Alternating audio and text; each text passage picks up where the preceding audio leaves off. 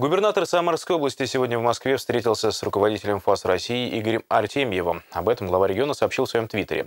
В ходе встречи стороны обсудили подписанное ранее соглашение о взаимодействии между регионом и ведомством, а также нашли пути решения проблем, накопившихся за предыдущие годы. Активное сотрудничество с антимонопольной службой будет продолжено, отметил Дмитрий Азаров.